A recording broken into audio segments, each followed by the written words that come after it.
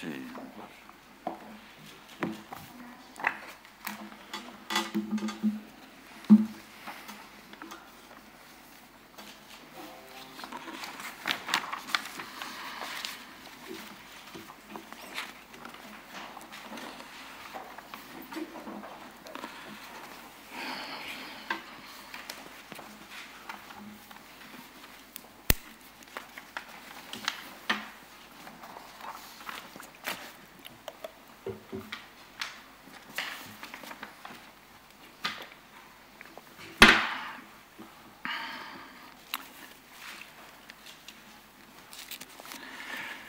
Muy buenos días. Bueno, paso a, relatar a, continuación los acuerdos del Consejo de Gobierno del día 3 de septiembre.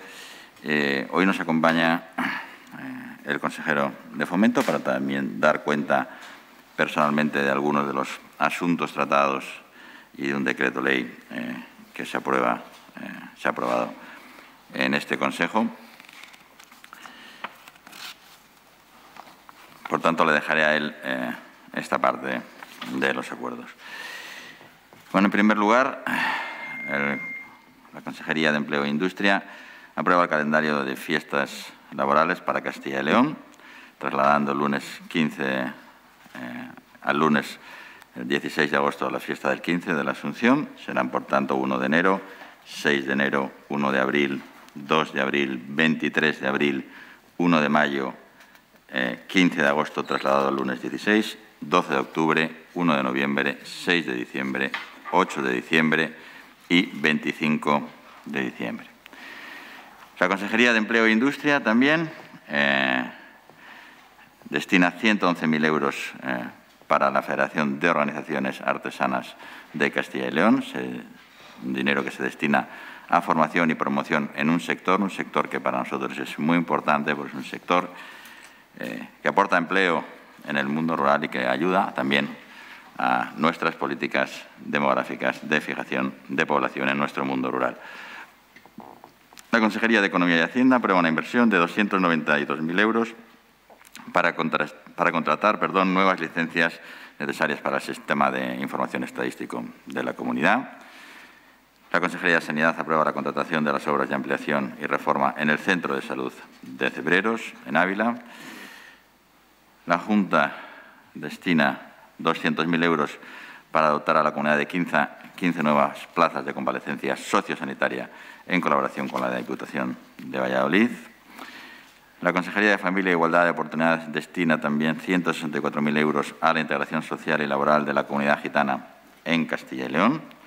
Se trata de eh, dos eh, subvenciones distintas. La subvención a la Fundación del Secretariado Gitano, que tiene por objeto cofinanciar el Programa Operativo Pluriregional de Inclusión Social y de la Economía, conocido como POISES, con un importe de 145.000 euros. Y eh, además se financiará eh, también dentro del mismo programa, el programa Cali por Igualdad de las Mujeres Gitanas, que tiene por objeto la integración social y laboral de las mujeres de etnia gitana y la lucha contra la discriminación. La Consejería de Familia y de Igualdad de Oportunidades concede dos subvenciones para el desarrollo de programas de inclusión social vinculados a la Red de Protección de las Familias de Castilla y León por un total de 67.000 euros. La Consejería de Educación destina más de 4 millones para suministrar energía eléctrica a los centros docentes públicos de nuestra comunidad y 2,5 millones de euros para suministrar gas natural a los centros docentes públicos de nuestra comunidad. También destina más de 1,3 millones de euros para la adquisición y distribución de mascarillas quirúrgicas a todos los centros educativos de Castilla y León. La Consejería de Cultura y Turismo aprueba 160.000 euros para actuaciones de rehabilitación en el Teatro Sarabia de Carrión de los Condes en Palencia y declara Madrigal de las Altas Torres como bien de interés cultural con categoría de conjunto histórico Saben ustedes que uno de los compromisos de la legislatura era desatascar todas las declaraciones eh, de bienes de interés cultural que estaban atascadas desde hacía ya, esta en concreto desde 1963, y con esto empezamos a dar cumplimiento, declarando también bien de interés cultural con categoría de conjunto histórico, la Plaza de Santa Eulalia en Segovia. Se aprueban 272.000 euros para fomentar el deporte universitario con actividades de promoción deportiva y programas de apoyo al deportista de alto nivel y la convocatoria del trofeo rector. Por otra parte, eh, y en el conjunto eh, de medidas anunciadas la semana pasada que se iban a estudiar para el sector de la hostelería y el sector turístico de Castilla y León, eh, se ha eh, revisado este programa que eh, se irá publicando las medidas a lo largo de, las próximas semanas. Es un programa que va a movilizar más de 150 millones de euros, que incluye una modificación legal que hoy explicará el consejero de Fomento y Medio Ambiente, ayudas a la liquidez de las empresas, líneas de préstamo al circulante para autónomos y micropymes de entre 6.000 y 40.000 euros, que prevén movilizar un total de 5 millones, líneas de préstamo al circulante para autónomos y pymes, eh, que prevén movilizar hasta 9,9 millones, una línea de modernización para las pymes que implementará soluciones digitales y otros procedimientos eh, de modernización, que incluye eh, una previsión de movilización de hasta 29 millones eh, para el sector hostelero, una línea de contingencia territorial para dar liquidez al sector de la hostelería, que va a movilizar un total de 2,5 millones, y la línea de financiación al canal Oreca con destino al canal agroalimentario, que pretende generar, movilizar 85 millones de euros. En total, estas cinco líneas serían 138. Eh, las bonificaciones de cuotas de la Seguridad Social por contingencias comunes, hasta un máximo de 3.500 euros eh, por, beneficiario. La convocatoria tendrá un total de 5 millones de euros. Subvenciones también a los equipos de protección colectiva de la hostelería, hasta un máximo de 2.500 euros, con un importe total en la convocatoria de 2 millones de euros. Un programa de reactivación de la demanda turística estimado eh, en 2 millones de euros, hecho en eh, colaboración con las asociaciones de empresarios de hostelería y turismo de Castilla y León, incluidas en las guías oficiales de turismo y de turismo activo, y una campaña de promoción del turismo urbano a la que se van a destinar 692.000 euros. Ahora les explicará eh, el consejero la modificación legal prevista eh, también para este sector, así como los acuerdos pendientes de comentar y posteriormente la consejera de Sanidad les informará de la situación epidemiológica en la comunidad. Carlos. Muchas gracias, portavoz, vicepresidente, consejera. bueno, voy a dar cuenta de cinco puntos del orden del día que proponía la Consejería de Fomento y Medio Ambiente. El primero es un proyecto de decreto ley que ha sido aprobado en el Consejo por el que se modifica la Ley de Espectáculos Públicos y Actividades Recreativas de Castilla y León, la Ley 7 barra 2006 de 2 de octubre. Este decreto ley tiene por objeto y finalidad eh, bueno, pues apoyar al sector de los espectáculos públicos, las actividades recreativas de Castilla y León eh, frente al impacto económico que han supuesto pues, las medidas de lucha contra el coronavirus.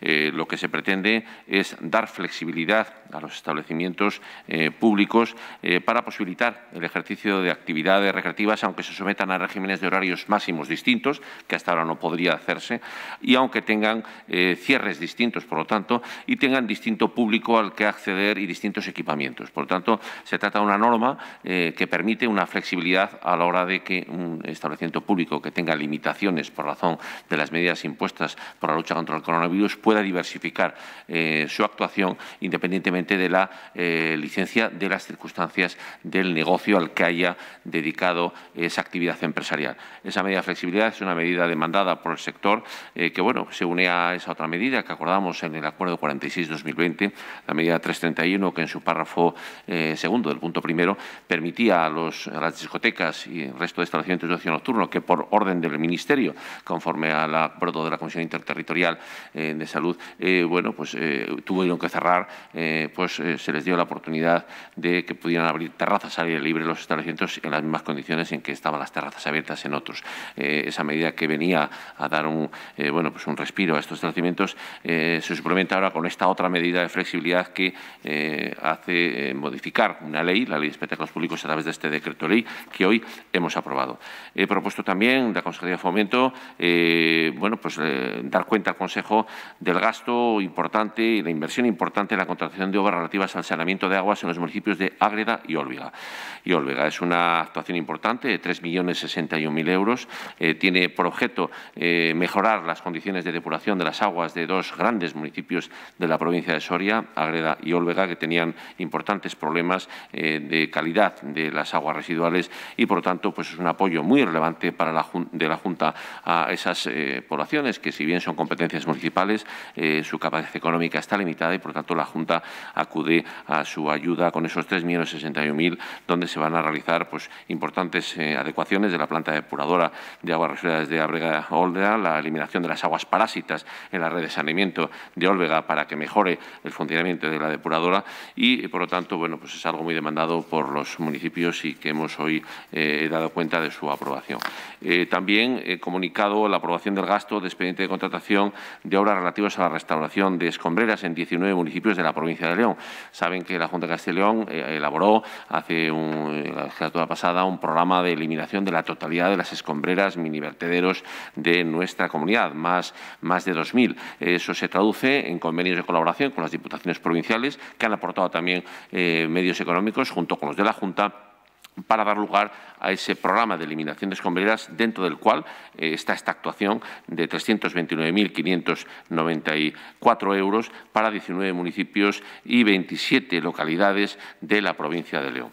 También eh, bueno, se han aprobado dos acuerdos eh, propuestos por la, por la Consejería eh, de dos encomiendas de gestión, uno a, la Fábrica Nacional de Moneda y Timbre, Real Casa de la Moneda, para la fabricación y entrega de tarjetas de cualificación de conductores para el transporte eh, por carretera. Eh, y también pues, otra encomienda de gestión al organismo autónomo Parques Nacionales, que es del Ministerio, es del Gobierno de España, está residenciado en el Ministerio de Transición Ecológica, para la realización de actividades en el Parque Nacional de la Sierra de Garrama. Por lo tanto, que esa estructura de personal y organizativa que tiene el Gobierno de España, el organismo parques autónomos en Sierra del Guadarrama, pues colabore con las actuaciones del personal de la Junta de Castellón para la mejor, eh, el mejor uso público y infraestructuras y estado del Parque, de la, del Parque Nacional de la Sierra del Guadarrama, que, como saben, compartimos con la Comunidad de Madrid. Muy buenos días. Eh, como ustedes saben, ya eh, llevamos 195 días desde que se declaró el estado de alarma y 75 eh, días desde que decayó este estado de alarma, pero en ningún momento esto ha significado que eh, no siguiéramos en una situación de emergencia sanitaria en España ni eh, de pandemia a nivel internacional. Yo quiero comenzar hoy agradeciendo al alcalde, a los alcaldes de Cantalejo y Carrascal y a los vecinos de esas de esos dos municipios la actitud y colaboración que han mostrado durante todos estos días durante el confinamiento. Previsiblemente, si hasta mañana no hay ningún cambio en la situación epidemiológica, el confinamiento finalizará esta semana con una incidencia muy reducida. Hace 14 días, en el que teníamos transmisión comunitaria y con una, tasa de 49 casos por 10.000 habitantes, en el momento actual está en 6,2 casos por 10.000 habitantes. Las medidas de confinamiento sabemos que son duras, sabemos que son muy duras, pero son la única medida eficaz y rápida demostrada hasta el momento actual y eso es algo que se está viendo en, todas las, eh, en todos los municipios donde se han tomado estas decisiones. Por lo tanto, lo primero es gracias. Con el nuevo eh, cambio de, desde ustedes desde el 11 de mayo saben que eh, la manera de declarar los casos al Ministerio de Sanidad se identifican las PCRs positivas. Entonces, eh, por PCR tenemos desde el inicio 30.468 y en las últimas 24 horas tenemos declaradas nuevas 356 PCRs nuevas que se distribuyen de la siguiente manera.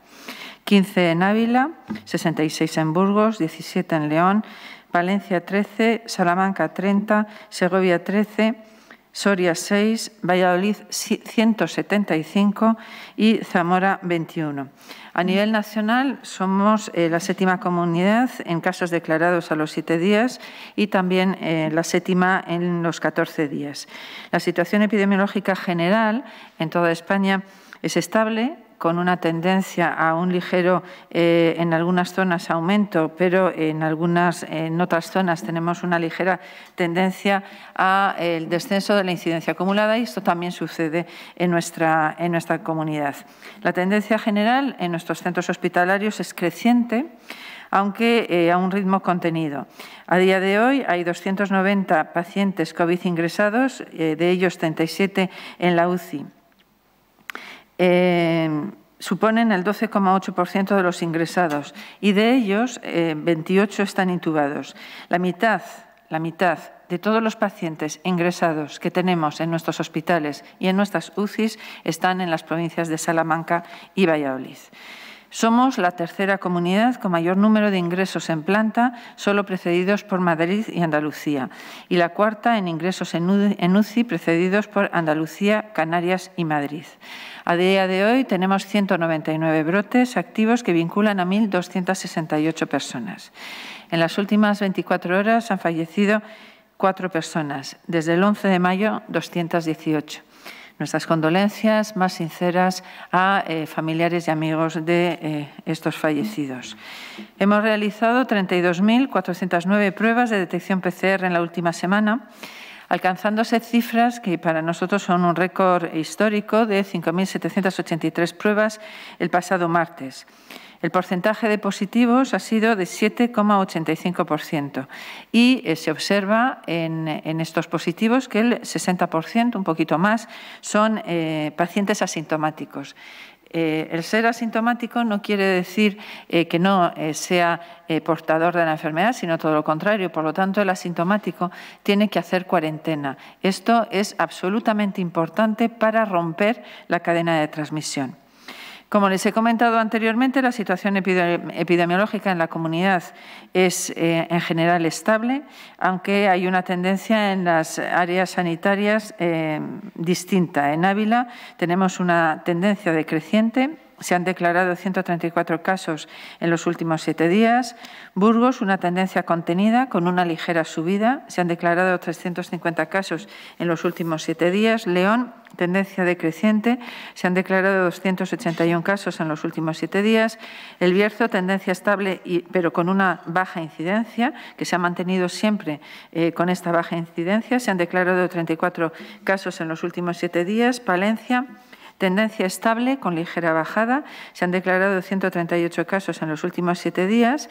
Salamanca tiene una tendencia en el momento actual estable, pero se han declarado 505 casos en los últimos siete días. Sobre los datos que nos llevaron a aprobar medidas concretas para el municipio de Salamanca, señalar que la media de incidencia acumulada en 14 días en Castilla y León a finales de la semana pasada era de 21,24 y la incidencia acumulada en Salamanca por 10.000 habitantes en 14 días era de 41,08.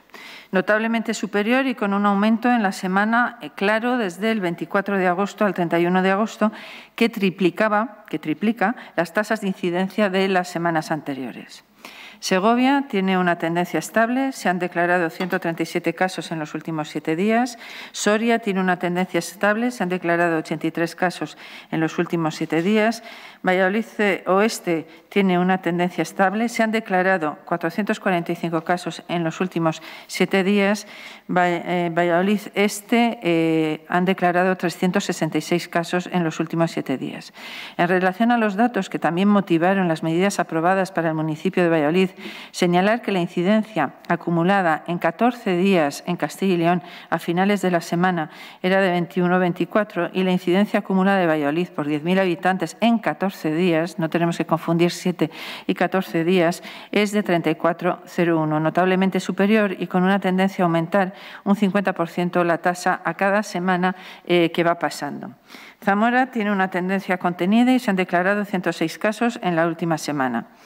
Las zonas básicas que seguimos más de cerca en estos momentos ahora mismo son Lumbrales en Salamanca, con 31 casos en los últimos siete días, vinculados a una no fiesta, y una incidencia acumulada de 74,9. Riaza, Segovia, con, 34, con 35 casos en la última semana y una incidencia acumulada de 58,2. Y Valladolid Rural, uno con 42 casos en la última semana y una incidencia acumulada de 45,32. Ayer mantuvimos dos reuniones con el Ministerio de Sanidad. La primera fue un consejo interterritorial en el que estábamos todos los consejeros de sanidad de todas las comunidades y en la segunda eh, fue un consejo interterritorial a las siete y media de la tarde con eh, la Comunidad Autónoma de Madrid, la Comunidad eh, Autónoma de Castilla-La Mancha, nosotros y el ministro y su equipo para eh, analizar los datos eh, que teníamos, los datos desde un punto de vista técnico y epidemiológico que había en las tres que hay en las tres comunidades autónomas. En la primera, eh, el motivo de la, de la reunión era analizar que en España estamos en una situación estable con tendencia a elevarse, que no hay grandes eh, movimientos en este, en este momento en, las comunidades autónomas, pero todas vamos subiendo eh, poco a poco. Eh, se nos habló de preparar, y estamos en ello, la campaña de la gripe, que va a ser, como ustedes saben, y les he comentado ya, la primera quincena del mes de, de octubre. Se habló de que se habían, nos comentaron que se habían hecho tres millones y medio de descargas de la, de la APP. No, no, están territorializadas, es decir, no, no podemos saber eh, cuántas tenemos en Castilla, en Castilla y León. Se comentó que también en octubre eh, se va a hacer el, el, estudio de seroprevalencia en este, en este otoño, con dos cortes, uno será en otoño y otro será en, probablemente en enero. Y en la, segunda, en la segunda reunión que tuvimos, bueno, en esta primera el ministro nos trasladó eh, la importancia de la contundencia de las medidas, el apoyo del Ministerio a la contundencia de las medidas eh, porque se ha visto que estas medidas tienen un impacto favorable en, la evolución. Es decir, que las medidas contundentes que se hayan podido tomar en Lérida, en Zaragoza, en Totana, eh, en Valladolid, en muchos de nuestros, de nuestros eh, en Valladolid, en nuestros municipios o en la comunidad de Castilla y León, ha tenido y tiene un impacto.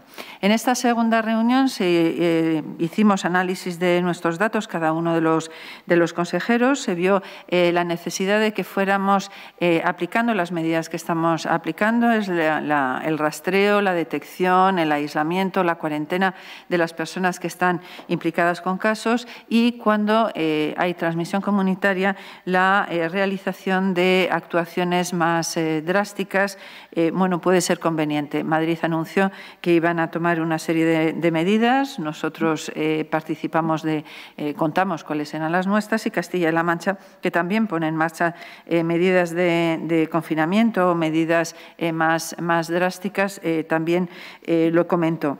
En el, posteriormente, lo que nosotros trasladamos fue la preocupación que tanto en Castilla y León como en Castilla-La Mancha tenemos y es con la movilidad. la movilidad que hay entre las comunidades sabemos que eh, tuvo en la primera fase de, esta pandemia, tuvo un impacto importante cuando se cerraron los colegios y las universidades y no se limitó la movilidad, pues evidentemente en Castilla y León tuvimos eh, cuatro provincias con un altísimo grado de sufrimiento, que fueron Soria, Segovia, Ávila, y Salamanca. Y por lo tanto, eh, desde luego, nosotros no queremos que nos vuelva a pasar y tenemos un elemento importante que es el AVE y eh, yo le solicité encarecidamente al ministro que eh, se, se, tomara medidas para intentar vigilar las medidas de distancia, las medidas de higiene, las medidas de seguridad en los medios de transporte y en este caso concreto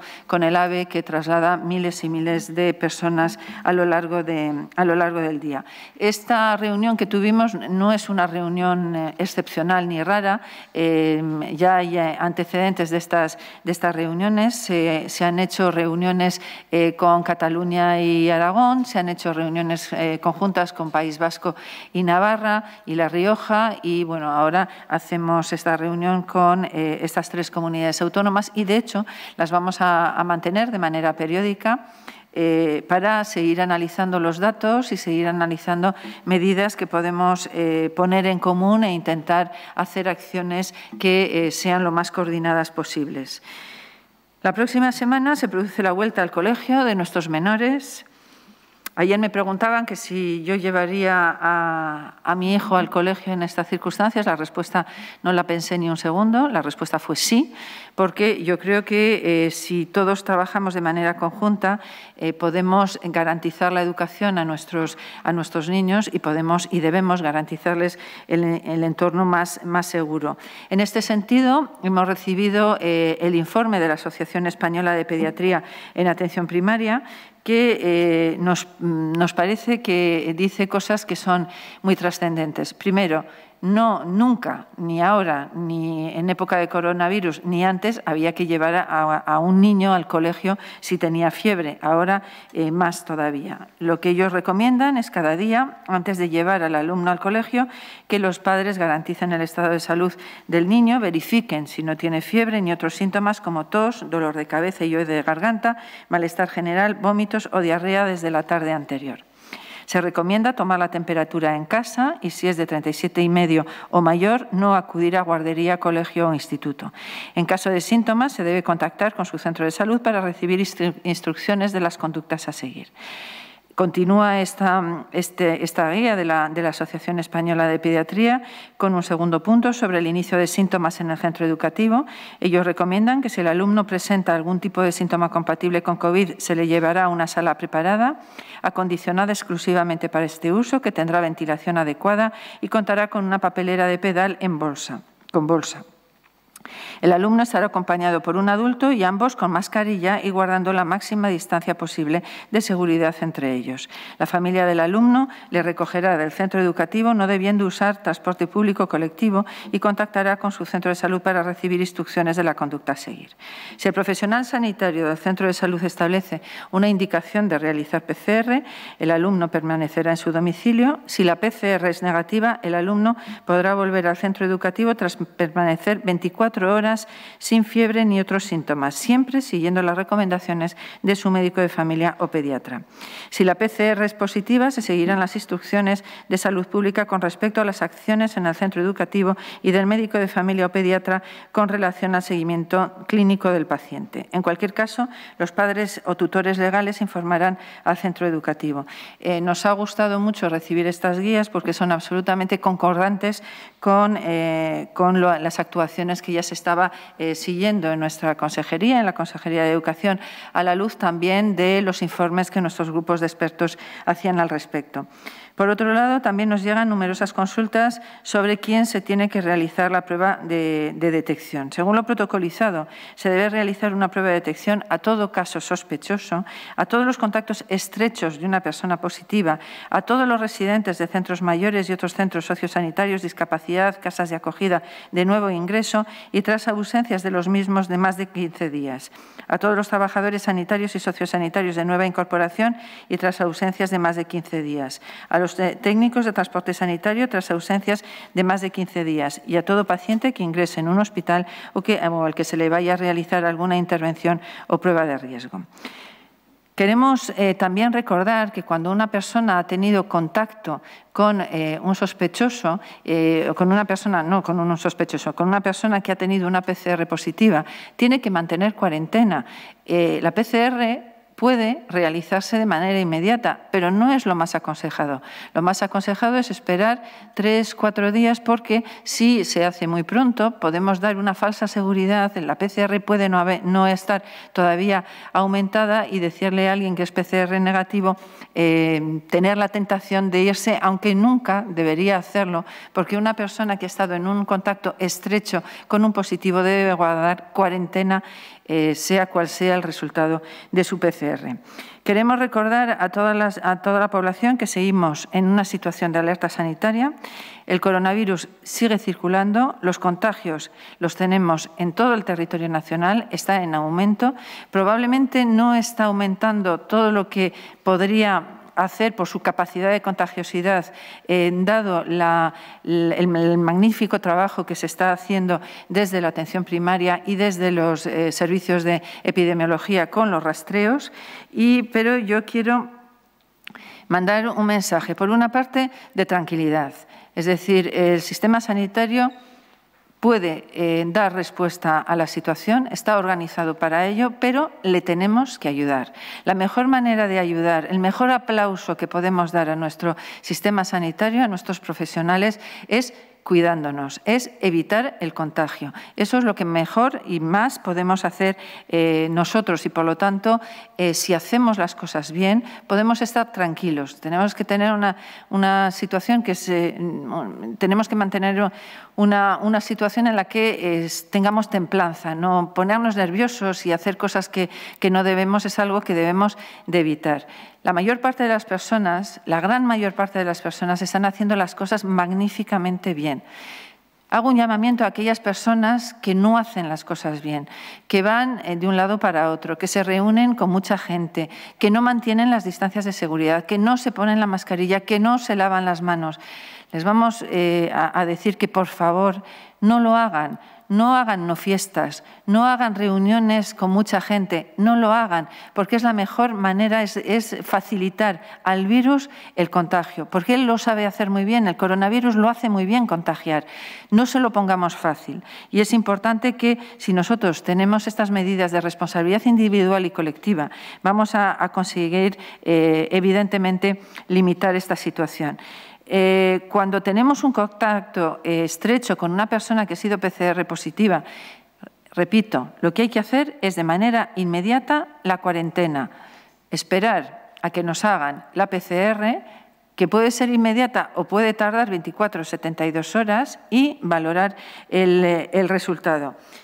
Si el contacto ha sido muy estrecho, pues evidentemente tenemos que mantener eh, la cuarentena. Cuarentenarnos es la mejor manera de eh, romper esa, esa transmisibilidad junto con el lavado de manos, el uso de mascarilla y la distancia interpersonal de metro y medio. Quiero eh, recordar que el trabajo de los rastreadores es, extraordinariamente importante, pero le podemos ayudar con la aplicación Radar COVID.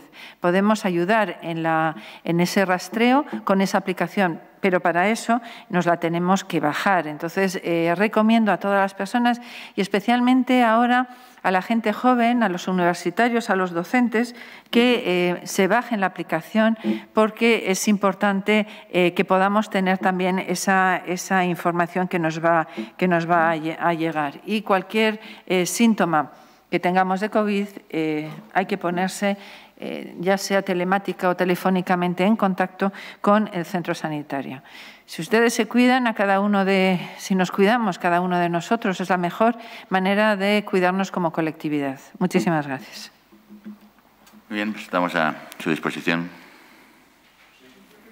Sí, quería preguntarle, eh, bueno, primero a la consejera, eh, hablaba que en la reunión de ayer manifestaron su preocupación por la movilidad, quería saber si pidieron el confinamiento perimetral de Madrid y, por otro lado, al vicepresidente, qué le parecen las declaraciones de García Paje en las que habla de bomba vírica de Madrid em, y si le parece la actitud correcta en este momento.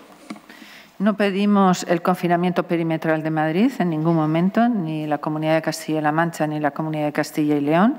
Eh, cada uno de nosotros habló de las medidas que eh, estamos haciendo, cada uno de nosotros eh, dentro de nuestras comunidades. Eh, y nos pusimos todos a disposición de, los demás para eh, hacer partícipes de las medidas que estamos, que estamos tomando. Lo que sí pedimos es eh, cuidado con la movilidad. O sea, lo que pedimos es que apoyamos a Madrid cuando dijo que le preocupaba Barajas y también lo que nosotros tenemos claro es que todo lo que sea mantener el máximo cuidado en los traslados y en la movilidad es una garantía de, eh, bueno, de alguna manera romper un poco la transmisibilidad. Bien, sobre las declaraciones del, presidente de Castilla-La Mancha no, me corresponde a mí su valoración. Yo soy el portavoz de, la Junta de Castilla León, pero le diré que a mí la, actitud correcta eh, me parece pues la que estamos intentando mantener que es trabajar, trabajar con lealtad desde cada autonomía, eh, procurar ser responsables, eh, proponer medidas cuando es necesario y no eh, alimentar polémicas públicas. Eso no quiere decir que no mm, hagamos declaraciones cuando es necesario o que no contestemos a los medios. Ustedes saben que nosotros contestamos sin límite de preguntas en estas ruedas de prensa, pero yo creo que cualquier responsable público en este momento su objetivo principal, su objetivo principal es intentar disminuir el daño. Y, eso es en lo que nosotros estamos. Intentar disminuir el daño en nuestra comunidad, en las de alrededor, en el conjunto del país y, proponer las medidas que, como bien ha dicho la, consejera, entendemos que son razonables en situaciones de proximidad eh, cuando las tasas de incidencia son altas. Nosotros lo hemos dicho todas las veces. Nosotros eh, no distinguimos Madrid, Aranda, eh, Pedrajas, Burgos o Valladolid proponemos las mismas medidas a todo el mundo, ¿eh? porque creemos que son eficaces. Y si nosotros proponemos medidas restrictivas cuando la incidencia es alta en nuestras ciudades o en nuestros pueblos, pues entendemos que son medidas eficaces en todos los sitios. ¿eh? Hay medidas que son más difíciles de aplicar dependiendo del volumen de, la ciudad, del municipio, de sus barreras. Hay cosas que son más fáciles de hacer en un pueblo y, lo que hay que hacer es pues, trabajar de manera conjunta para, intentar que esto así. Yo no, eh, aquí no hay más culpable de lo que ocurre que un virus. ¿eh? Nosotros lo que somos es responsables de tomar las medidas adecuadas y ese es nuestro trabajo y no, alimentar polémicas y no lo haremos. Me gustaría saber si se sienten cómodos con la evolución de la situación en Madrid y si les gustaría que se aplicaran en esa comunidad, por el Gobierno de Díaz Ayuso, alguna medida restrictiva, alguna medida de tipo social más restrictiva, como se ha hecho en Salamanca y Valladolid. Nosotros no estamos cómodos con la situación epidemiológica de toda España, no solamente con la de Madrid. A mí también me preocupa cuando hemos tenido 135.000 tarjetas sanitarias, no nos han venido solamente de, Madrid, nos han venido de Cataluña, nos han venido del País Vasco. Es decir, nos preocupa que haya eh, infección en, toda España. Evidentemente, Madrid nos preocupa porque está muy cerca de nosotros y por eso nos preocupa la movilidad. Eh, yo creo que hoy, entre hoy y mañana, por lo que nos comentó, aunque no en, medidas concretas, mm, Madrid también está eh, tomando las decisiones que tienen que tomar en su territorio, que además son los que mejor conocen cuál es la situación que, ellos tienen, igual que nosotros conocemos muy bien la situación que tenemos en Castilla y León. Sí que decirles que les, hemos solicitado de manera reiterada eh, bueno, pues que se extremen las medidas de control e higiene en los transportes, en la movilidad, como bien ha dicho la consejera. Ustedes saben que nosotros tenemos una relación muy intensa, entre otras cosas, pues a través del AVE, a través de los medios de transporte colectivo, y siempre nos han oído decir que hay que extremar las medidas en los medios de transporte colectivo. Así se lo hemos trasladado a quien es responsable, en este caso, eh, que es el Gobierno central.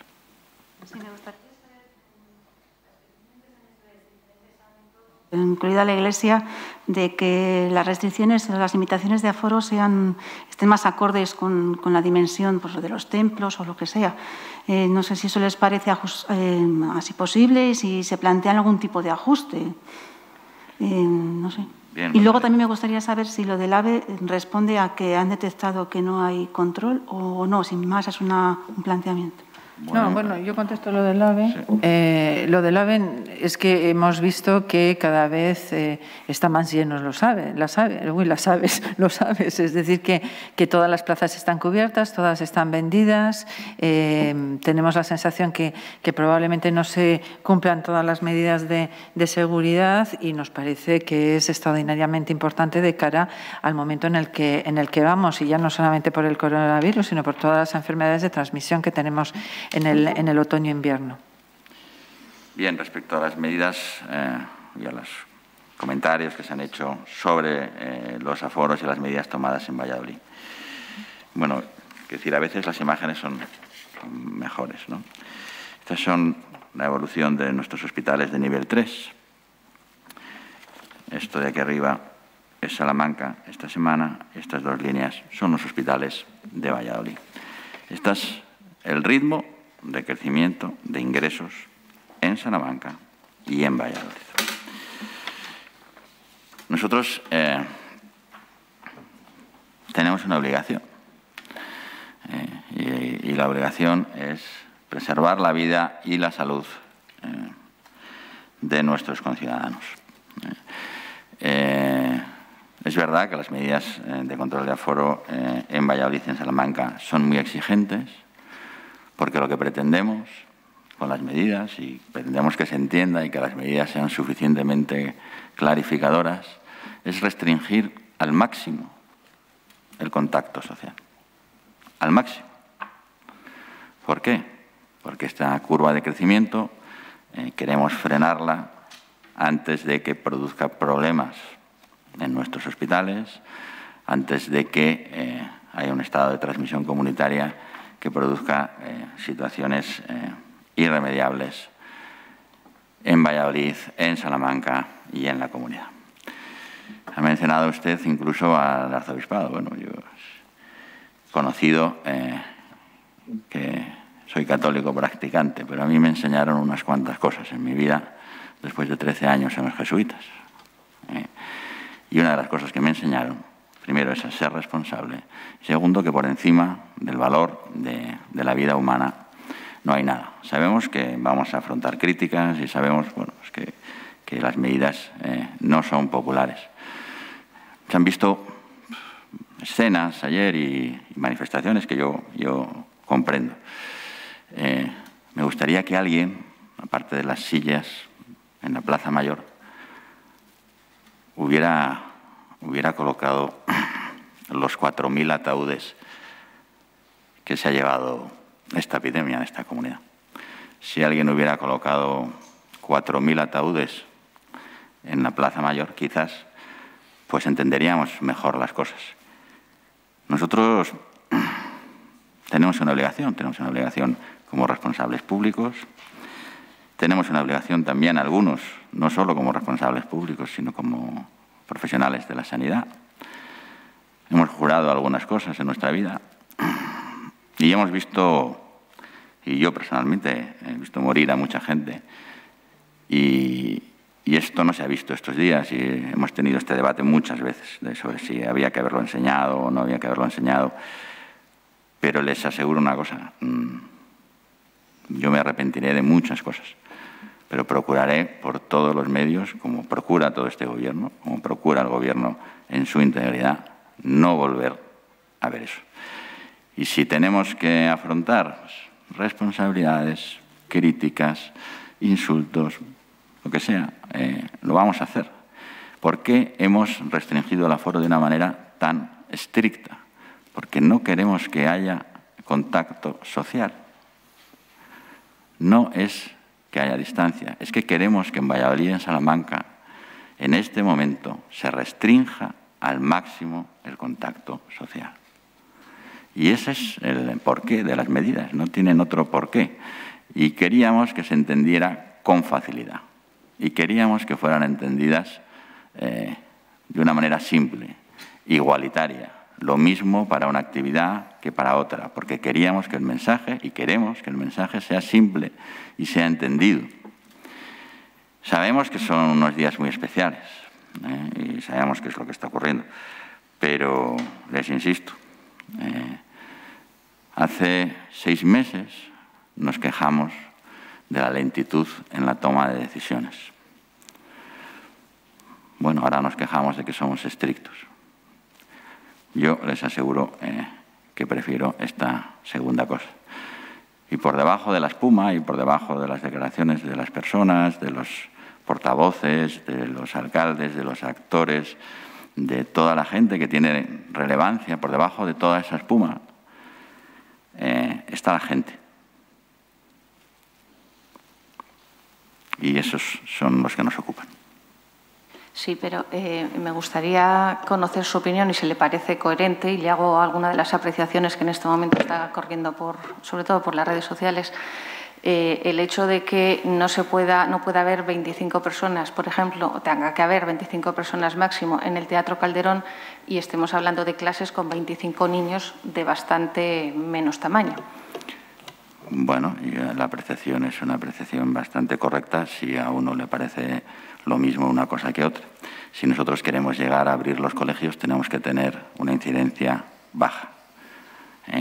Nosotros eh, hemos sido eh, leales al acuerdo del Consejo Interterritorial porque pensamos que con todas las medidas de seguridad es muy importante abrir los colegios porque se produce una brecha social, porque hemos valorado el riesgo y el beneficio, y el riesgo y el beneficio en esa situación, y también valoramos el riesgo y el beneficio de que una, ciudad con esta tasa de incidencia pueda o no pueda hacer 80 o 90 actos durante, concentrados en una semana eh, que movilicen a mucha gente, que den la sensación eh, de que es posible hacer algo que no es posible.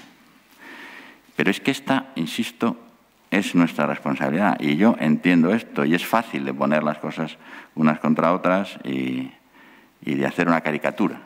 ¿eh? Pero yo no me voy a quedar en la caricatura.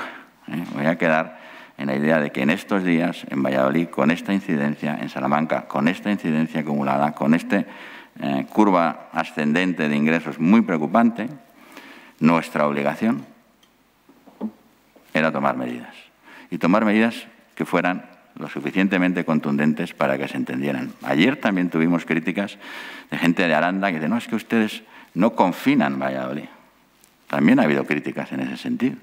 Incluso ha habido quien nos ha dicho a la vez que éramos unos exagerados, pero que declarásemos el estado de alarma. La misma persona nos, nos dice las mismas cosas, cosas que son completamente diferentes. Pero es que esta es nuestra responsabilidad.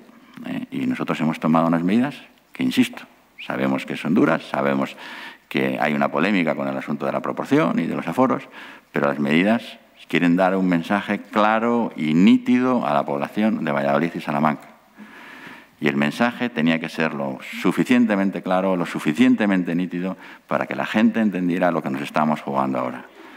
Y lo que nos estamos jugando ahora es que si tenemos 100, 120 enfermos eh, ingresados en los hospitales, dentro de dos semanas, tres semanas, tengamos 200, 300, tengamos 30 señores en la UBI y tengamos que, lamentar la pérdida de más vidas humanas.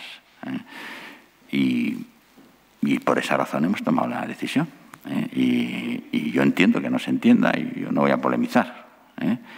Eh, nosotros se ha recurrido, habrá una resolución judicial, ya se ha autorizado judicialmente en Valladolid, porque se ha pedido ratificación en Valladolid y en Salamanca. Esperamos que a lo largo del día de hoy conozcamos si hay ratificación o no de las medidas en Salamanca y luego hay otro proceso abierto pues, que tendrá su resolución.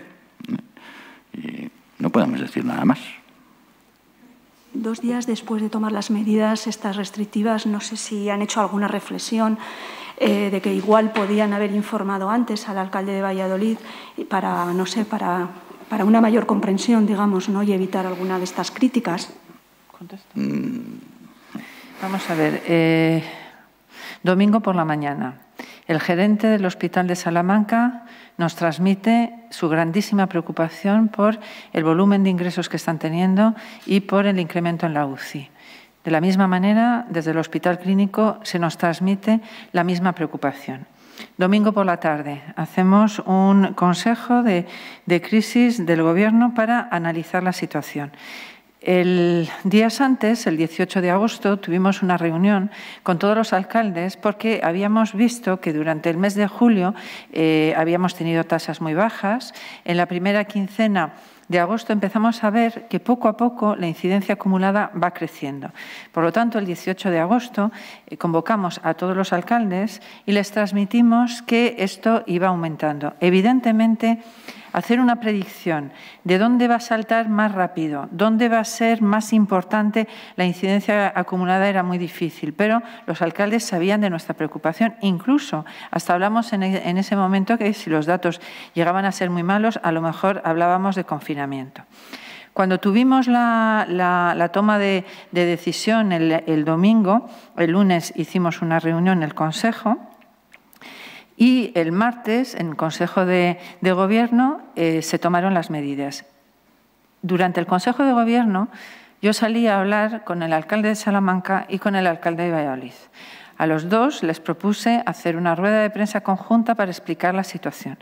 Estas eh, medidas eh, se tienen que tomar rápidas. Es esa es la razón por la que nosotros hacemos un análisis pormenorizado no digo ya día a día, sino eh, casi hora a hora de cómo están yendo las cosas en los diferentes sitios. Y vamos tomando, y cuando en ese momento se produce ese problema, es cuando tomamos la decisión. No hay tiempo para la, discusión, para el debate. Sí comunicamos, pero comunicamos en el momento que realmente teníamos muy claro que había que eh, tomar decisiones. Cuando uno está en una situación de accidente no se pone a pensar si comunica o no comunica, hace. Y yo creo que eso es lo que nosotros hemos hecho. A mí me gustaría señalar que mm, durante la semana del 8 al 15 de marzo hay algunos estudios que han, están publicados sobre lo que costó en términos de vidas humanas eh, el retraso de una semana eh, de la toma de decisiones. A mí me gustaría que se repasase esos estudios y que se valorase eh, si es tan importante reflexionar durante días o tomar decisiones con un virus que se reproduce y que se contagia a la velocidad a la que se contagia. Pero cuando el día 18 llamamos a los alcaldes a esta misma sala, y acudieron quienes no estaban de vacaciones o los tenientes de alcalde, en el caso de los que estaban de vacaciones, eh, les llamamos para informarles de la gravedad del asunto. De hecho, yo creo, creo que se han publicado incluso, me ha parecido ver hoy, eh, las fotos de los apuntes eh, de uno de los que estuvo. En alguna parte me parece que se habla confinamiento, pone arriba, abajo pone izquierda. O sea, no estuvimos hablando de la posibilidad de que hubiera un tifón Estuvimos hablando de cómo iba la evolución de los acontecimientos. Y a la salida de esa reunión, teniente alcalde de Valladolid, en presencia del alcalde de Salamanca y en mi presencia, habló con el eh, presidente. ¿eh? Se le informó de nuestra preocupación y de que teníamos, naturalmente, como siempre hemos tenido, todas nuestras líneas y todos nuestros teléfonos abiertos. Yo he de decir que yo no he recibido una sola llamada del alcalde de Valladolid. Y hemos recibido llamadas del alcalde de Burgos, del de Belorado, del de, Aranda, de muchísima gente que a lo largo de esta pandemia, cuando veía las cifras que todos ven eh, en el portal de transparencia, si estaba preocupada, nos llamaba, oye, ¿qué podemos hacer? Oye, voy a emitir un bando, no voy a emitir un bando. Pero nosotros no, no, podemos actuar de manera diferente porque, porque las vidas de los ciudadanos de Valladolid valen tanto como las de Aranda, como las de Candeleda, como las de Riaza, como las de cualquier ciudadano. Y por encima del valor de las vidas de los ciudadanos de Valladolid, no hay nada. Y por eso tomamos las decisiones. Preguntarle si finalmente se ha barajado, después de las declaraciones también del alcalde de Valladolid, la posibilidad de retrasar el, inicio del curso en las dos ciudades que todavía que están ahora con esas medidas más drásticas de cara al día 9 y, por otra parte, si para secundaria, que es el día 14, eh, podría haber un inicio de clase escalonado para también evitar una afluencia masiva de todos los alumnos en los institutos, que es más difícil de controlar que a los menores. El inicio eh, del curso académico, que como ustedes saben eh, está escalonado infantil, primaria, secundaria, se ha decidido llevarlo a cabo después de un consejo interterritorial con todos los consejeros de sanidad, todos los consejeros de educación y los ministros del ramo, valorando todas las medidas y el riesgo y el beneficio. Como muy bien ha comentado la consejera. Somos en este momento la séptima comunidad por orden de incidencia acumulada. Hay siete comunidades con mayor incidencia acumulada em, que nosotros. Eh, eso no quiere decir que en alguna circunstancia, si el seguimiento epidemiológico en concreto en alguna provincia o en algún pueblo o en alguna zona básica de salud viéramos eh, que está fuera eh, de control o que hay una situación especialmente peligrosa, no tomásemos decisiones particulares, como hemos tomado decisiones particulares, en este caso, sobre el Ayuntamiento de Valladolid y Salamanca. Nos preocupa también y nos preocupa más, pero aún tenemos eh, un tiempo, la vuelta a la actividad en las universidades. ¿Por qué? Porque eso implica nuevo movimiento. No es la misma situación eh, la de los estudiantes de primaria y secundaria que los estudiantes de universidad, porque los estudiantes de universidad se desplazan eh, en miles de un sitio a otro y todo lo que supone desplazamiento de personas eh, entre poblaciones con distintos índices de actividad supone un riesgo. ¿Eh? Y esto también lo estamos valorando. Sí, yo quería preguntar eh, ¿qué, qué, sucede en el clínico con los reactivos, porque hay personas a las que se, le, se han hecho la PCR el domingo y aún no conocen los resultados. ¿Hay algún, algún problema en este sentido? En el clínico de Salamanca, de Valladolid, ¿de? De Valladolid. De Valladolid. No, eh, lo que pasa es que es verdad que estamos con una, con una tasa de, de, PCRs que estamos haciendo, eh, sobre todo en Valladolid, porque ha habido una incidencia muy, muy alta y eh, bueno, se está a, todo, a toda máquina, mañana, tarde y noche. A veces eh, hay algún problema de, de, reactivos, pero se intenta dar eh, respuesta en las primeras 24 horas. En algún caso, pues son 48 horas, pero casi siempre estas situaciones se producen en, en personas que tienen que estar cuarentenadas o aisladas. Sí, no sé si se está, cómo está lo de los test que se iban a hacer a los profesores, si se está viendo algún problema o no, lo digo por, por lo, acontecido en Madrid, y qué validez tiene ese tipo de pruebas, porque a algunos se le ha hecho en julio y, lógicamente, lo que se le ha hecho en julio ahora en septiembre, pues no sé. Bueno, eh, vamos a ver, los test, de, los test rápidos, los test de anticuerpos, tienen una, una, la validez que tienen es para determinar si tú tienes o no eh, anticuerpos. Si tú tienes anticuerpos y eres IgG positiva, pues lo que está claro es que has pasado la enfermedad y que estás sana y que te puedes incorporar sin ningún problema. Los que son negativos es aquellos a los que hay que determinar la PCR. Entonces, eso es lo que eh, se, se está haciendo y se está haciendo de manera ordenada para intentar no, no tener acumulaciones y no ser eh, tampoco los responsables en que haya mayor transmisión. Me quería preguntar una segunda cosa. Ha hablado de una posible rueda de prensa conjunta. ¿Qué pasó para que no hubiera esa rueda de prensa? ¿Se negó a alguien o...? Perdón. ¿Rueda de prensa conjunta? Sí, que, que, ha comentado que durante el Consejo de Gobierno habló con los alcaldes de Salamanca y Valladolid, incluso se planteó plante, presentarlo conjuntamente. Sí, no, no conjuntamente, no. Yo les, eh, le ofrecí al alcalde de Salamanca ir a Salamanca a las 10 de la mañana a dar eh, la rueda y la di y planteé al alcalde de Valladolid dar la rueda con él y me dijo que no hacía falta, no, no conjunta de todos juntos, sino eh, ir yo con ellos y ir además al, al ayuntamiento. Sobre ese cambio normativo de paso de local de ocio nocturno a ejercer actividad de hostelería, que yo quería saber si habían tenido ya muchas peticiones de, de este tipo de modificación. Sí, bueno, eh, hemos tenido muchos contexto, portavoz, hemos tenido muchos contactos, tanto la, la vicepresidencia, el presidente, como eh, distintos consejeros con todos los sectores eh, implicados, afectados por todas estas medidas.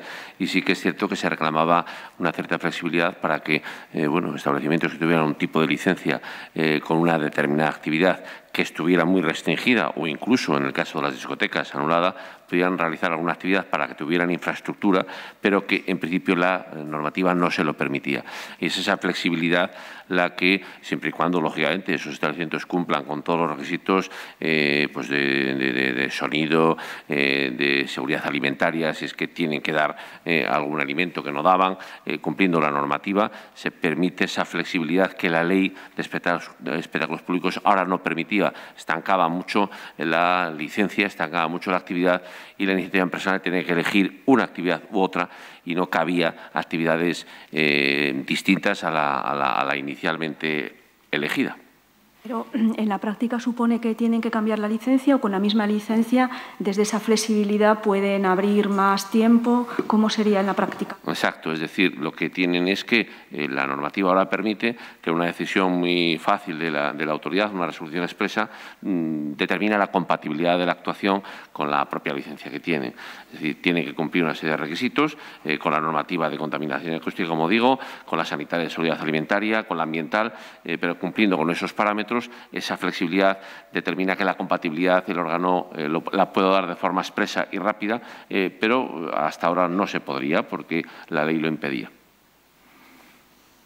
Sí, en relación a los brotes, en, como sabe, bueno, las, los medios de comunicación trabajamos con corresponsalías y colaboradores.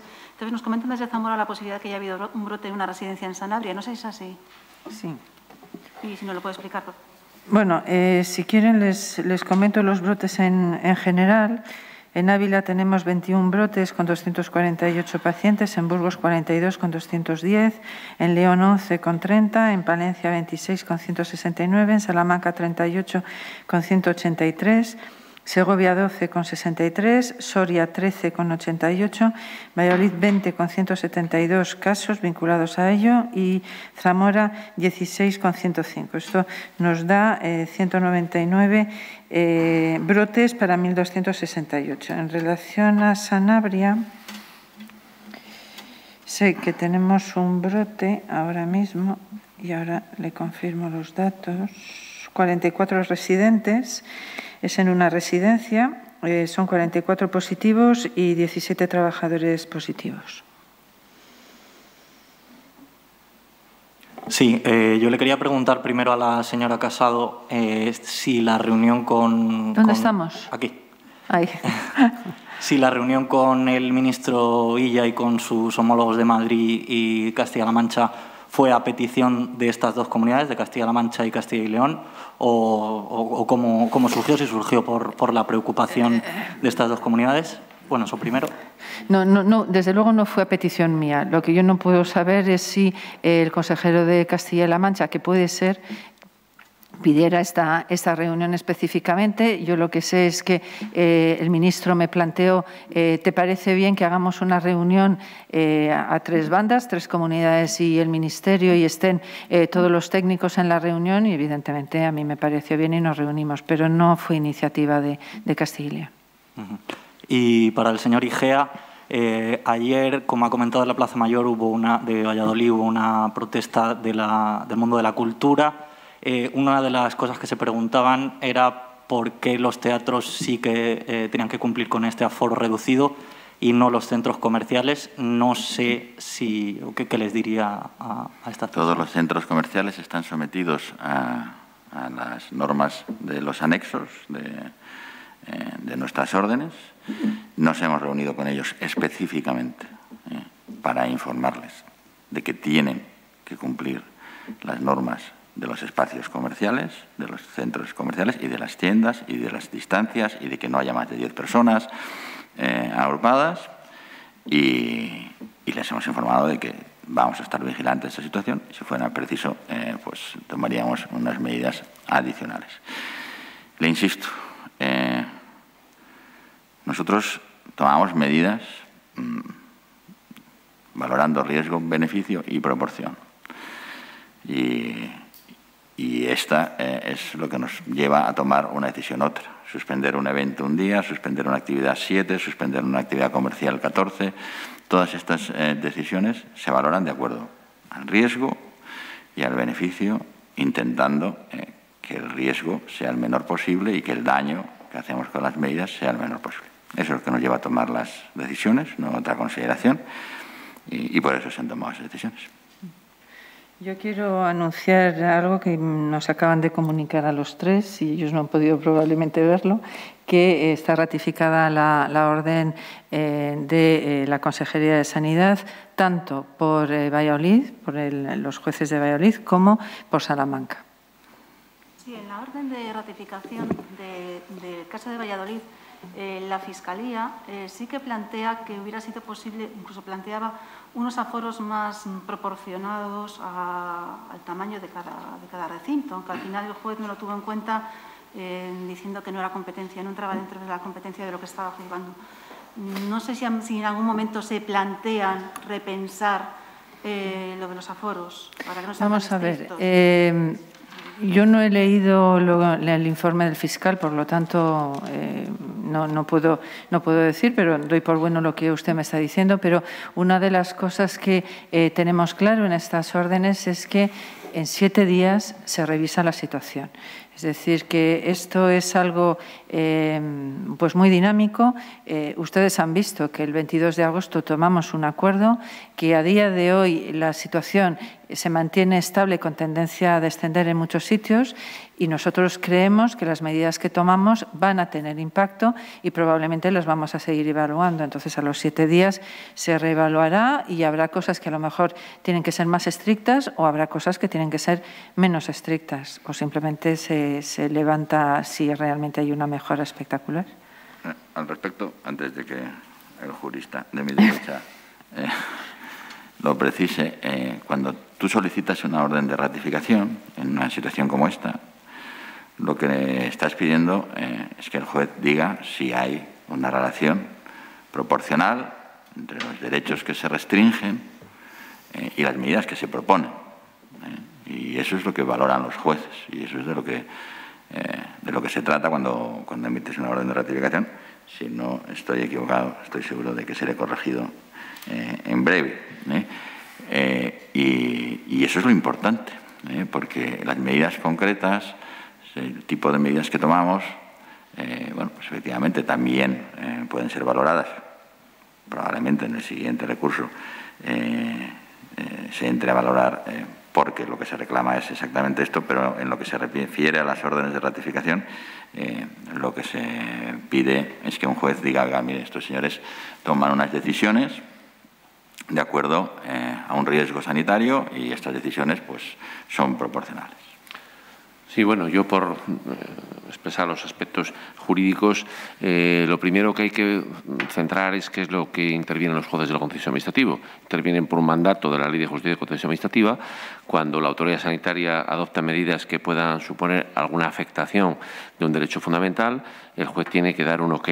¿Y el juez que analiza?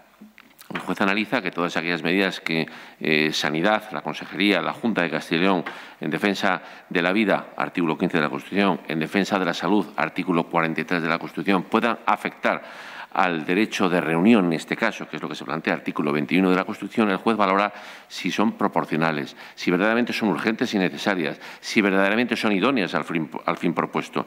Y eso es lo que tanto la Majestad de, Valladolid como el juez de lo contencioso administrativo en Salamanca analizan y determinan que hay urgencia en adoptarlas, que hay efectivamente son necesarias que son idóneas al fin propuesto de rebajar y de tratar de limitar la transmisión del virus y, desde luego, que hay proporcionalidad, tanto objetiva por la calidad de la medida como territorial por el ámbito territorial en que se encuentra. Por tanto, es un importantísimo aval por parte de los jueces del control administrativo a las medidas adoptadas por la Junta de Castilla y León.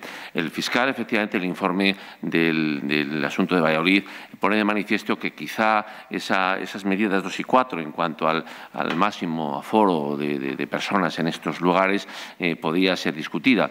La magistrada lo que dice es que eso no corresponde a ahora, son proporcionales y que además pone de manifiesto que la propia ley de la jurisdicción contenciosa administrativa en el artículo 71.2 eh, prohíbe a los jueces tener que dar contenido a lo que anulan. Anulan si consideran que no es proporcional, pero le corresponde al Poder Ejecutivo, dentro de su eh, discrecionalidad y la acción ejecutiva, determinar el contenido de la medida. El juez puede decir esto no es correcto, pero no puede decir qué es lo que sería correcto a su entender. Eso pertenece a la función eh, ejecutiva. Eso lo deja muy claro el auto de la magistrada de la Contencioso Administrativo y, por lo tanto, eh, deja las cosas en su sitio. Separación de poderes, cada poder hace lo que tiene que hacer y, desde luego, el superior criterio de los jueces en orden a determinar que no haya ninguna afectación indebida de derechos fundamentales, que es lo que dice que no hay tanto la juez eh, del contencioso de Valladolid como de Salamanca.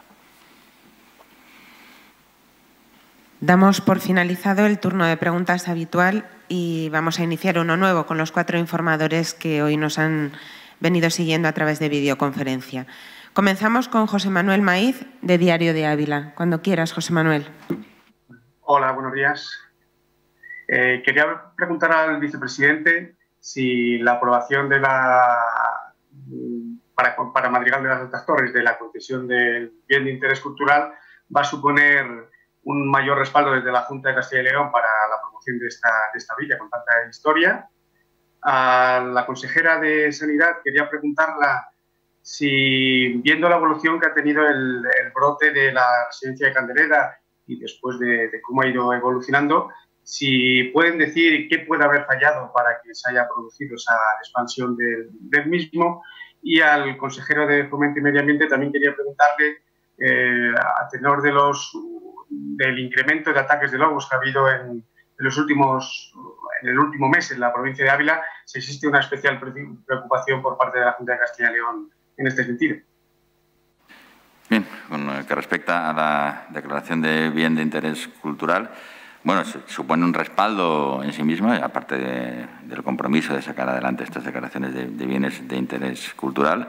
Yo creo que es, es bueno, es un hecho noticiable, es un hecho eh, que coloca eh, a la villa eh, en el mapa de los bienes e intereses de interés cultural, en el mapa del turismo y además obliga naturalmente a la Junta a su especial protección, a su cuidado y a su promoción, cosa que hacemos naturalmente con todos nuestros bienes de interés cultural. Bueno, en relación a la, residencia de Candeleda, eh, el fallo se está, el fallo o la situación que se ha podido producir en Candeleda está siendo analizada por la Consejería de, Familia. Eh, ya habían hecho ellos un rastreo previo y estaban las cosas bien, pero Evidentemente, es una, las residencias son eh, zonas de altísima fragilidad y eh, probablemente pues, eh, alguien que entró, ya sea visitante o trabajador en la residencia, pues era, portador, asintomático, quiero esperar, y contagió a la, a, esa residencia. no tengo datos exactos de cuáles son las actuaciones que están haciendo desde, desde familia pero nada más que tengamos eh, información sobre la misma se lo daremos. En lo que respecta a los ataques del lobo en Ávila, saben que el lobo en Ávila es una especie estrictamente protegida. Eh, eso significa un estatus en, el cual no es susceptible de ser cazada, eh, pero sí ser gestionada por la Junta de Castellón de forma extraordinaria eh, ordenando controles de ejemplares cuando se acumulan esos daños conforme lo establece la Directiva Europea Habitat y la propia normativa nacional y autonómica.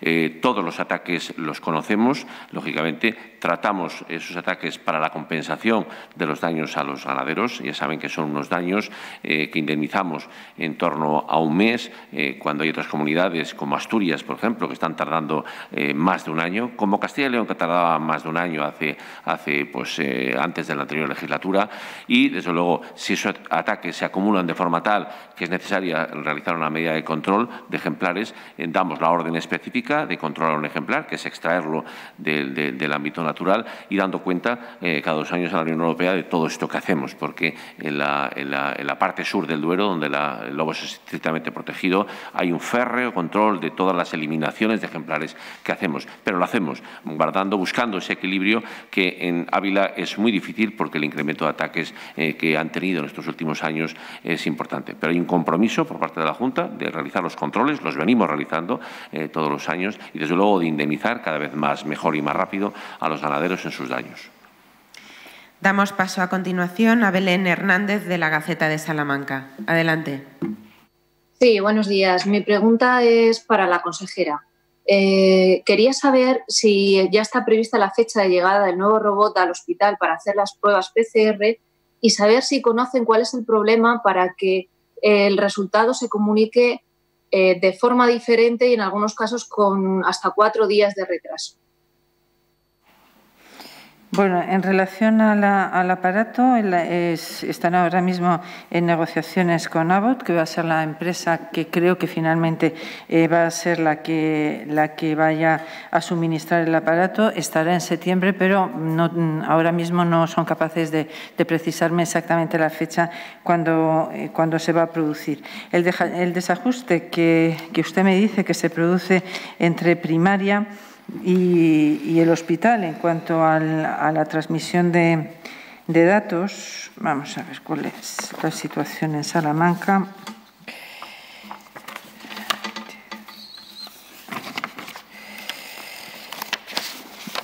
Vamos a ver, los reactivos, como ustedes saben, están llegando semanalmente los jueves, en torno a 2.000 kits para Cobas de Roche. Se pueden mandar a Segovia si hay necesidad y pronto llegará el robot nuevo, aunque la fecha concreta, como le acabo de decir, no la tengo. Eh, hay retrasos a veces en, la gestión de los resultados. Desde que se toma la muestra, llega al laboratorio porque no es instantáneo hasta que se informa por parte del responsable de seguimiento a los facultativos. El hecho de cuando se tiene eh, tantísimo rastreo como el que esté estamos teniendo ahora mismo pues puede hacer que en algunas ocasiones, y no de manera generalizada, eh, haya estos retrasos. Pero evidentemente esto se está produciendo en personas que tienen que estar cuarentenadas o en personas que están aisladas, con lo cual lo ideal es tener el resultado lo antes posible, pero no debería de eh, ser óbice para no hacer la cuarentena. Si yo he tenido un contacto estrecho con una persona y se me dice que tengo que hacer cuarentena, me pueden hacer la PCR y puedo esperar y porque tengo que hacer la cuarentena. Es decir, no se nos tiene que olvidar que la PCR es una prueba de confirmación, pero que la herramienta fundamental para romper, para romper la transmisión la determina el aislamiento y la determina la cuarentena. De todas maneras, eh, estamos, eh, dado el volumen de, pruebas, ahora mismo eh, en todos los laboratorios se está analizando y especialmente en Salamanca la manera de agilizar y de que la descarga de los datos sea automático, de manera que cuando se tengan los resultados del análisis no haya que, teclear, sino que de manera automática pueda llegar al receptor y esperamos también que en breve esta situación esté resuelta. La siguiente intervención es de Begoña Rincón, de Segovia Audaz. Adelante. Hola, buenos días. Pues eh, desde Segovia tenemos varias preguntas para la consejera en este caso y aunque afortunadamente la situación de la UCI en Segovia es favorable, únicamente tenemos un paciente en estos momentos y las obras de la nueva ampliación concluirán en octubre conforme a las previsiones. En el caso de que la situación empeorara, es cierto que se dejarán determinadas camas de UCI para pacientes COVID y se reservarán otras para otras patologías. ¿Podrían confirmarnos qué números o cuál es el plan en este caso? Eh, también si el resto de los posibles pacientes COVID o de otras patologías si los hubiera, serían trasladados al Hospital Río Ortega. Eh, si está prevista o hablada una colaboración con la vecina Comunidad de Madrid, como pasó entre Soria y La Rioja, en caso de que el brote requiera más medios. Y por último, si se confirma entonces el fin del confinamiento de Cantalejo y de Carrascal del Río para este viernes a las 12 de la noche. Gracias.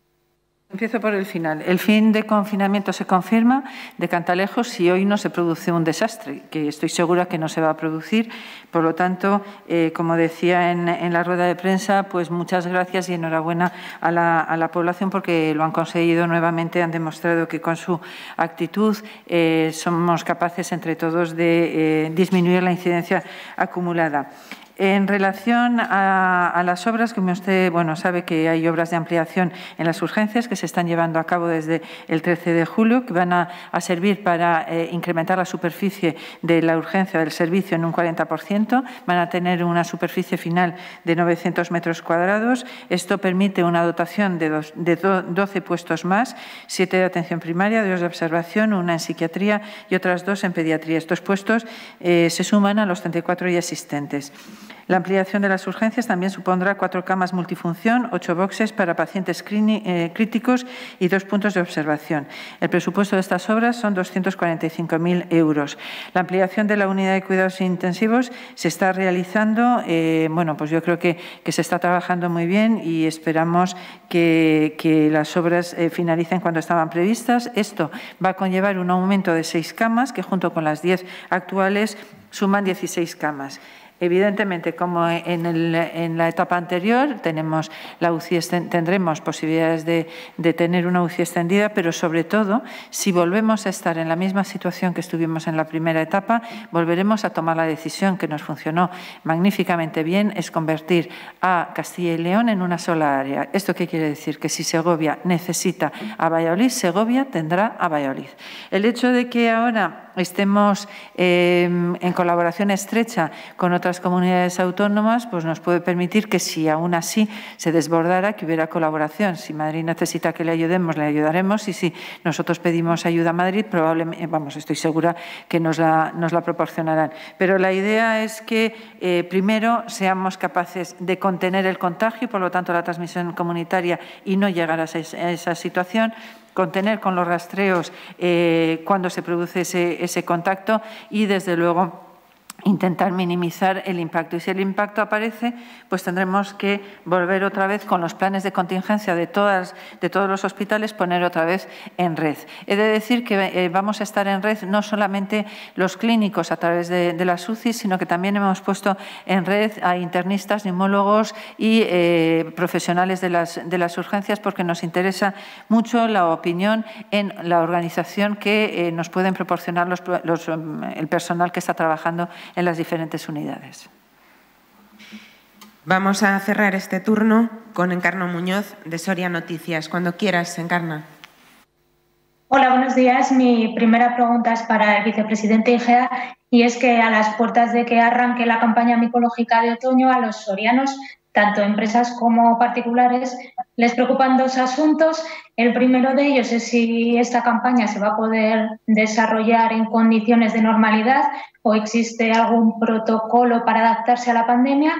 Y el la segunda de las preocupaciones para los sorianos es si, bueno, a la vista de que la campaña, las previsiones apuntan a que va a ser bastante buena, si existe algún tipo de control o prevención ante la posible llegada masiva de jornaleros que, bueno, como sabemos en la provincia no siempre tienen las mejores condiciones laborales.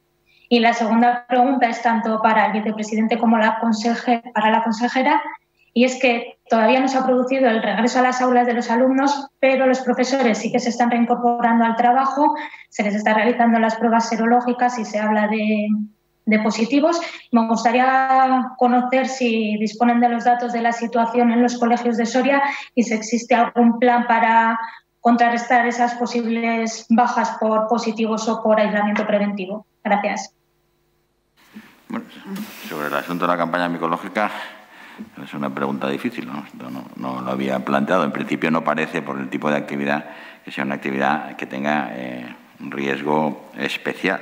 Es decir, no se hace ni a distancias cortas, ni, ni con contacto ni con grupos eh, mayoritarios. Sobre el asunto de los jornaleros, hay un protocolo para todos los eh, jornaleros que depende de, de, agricultura que supongo es extensible también a este, a este caso, pero lo preguntaremos para estar seguros de lo que le estamos contestando sobre el asunto del regreso a las aulas y las PCRs. No sé si la consejera tiene pues, los datos, eh, los datos son, serían de, de, educación, se están haciendo las, las, pruebas serológicas y sobre el planteamiento de eh, qué van a hacer con las, las, bajas de los docentes, pues yo no me atrevo a, a contestar esa pregunta porque eh, yo creo que lo, quien se lo sabe muy bien es la consejera de, Educación.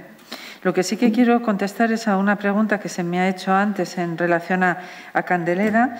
Eh, en principio me informan desde la Consejería de Familia que los protocolos han funcionado, que los test serológicos se hicieron el 13 y dieron negativos y que el 10 ya estaban las visitas prohibidas. Eh, lo que sí que, bueno, pues parece ser que una profesional empezó con, febrícula y una visita, pues también. Eh, la Sociedad Española de Geriatría y Gerontología dijo que eh, el rebrote no supone una gestión inadecuada de la desescalada o del control de la, de la infección y que a veces la distancia social, eh, cuando se tiene que cuidar muy de cerca a, los pacientes, pues hacen eh, que sea a veces complicado y que a veces, bueno, el acompañamiento que pueden precisar algunos de estos pacientes hace difícil esta, situación. Y esto lo dice la Sociedad Española de Geriatría y Gerontología y la Fundación Lares.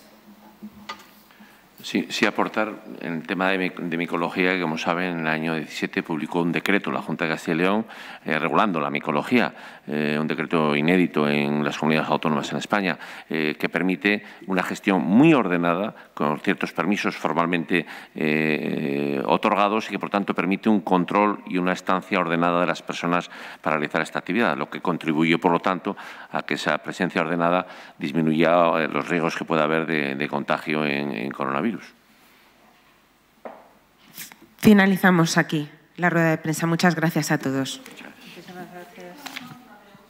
¿Se sabe, en el caso de la residencia de Sanabria, a qué se ha debido? ¿Si ha sido también alguna cosa externa o algún, algún usuario? Se está analizando. Ahora mismo lo único que sé es el número de personas que están afectadas, el número de profesionales, pero ahora mismo se está con las encuestas epidemiológicas y e identificar a veces el caso cero, el caso inicial, es complicado, pero están, están ahora mismo en ello.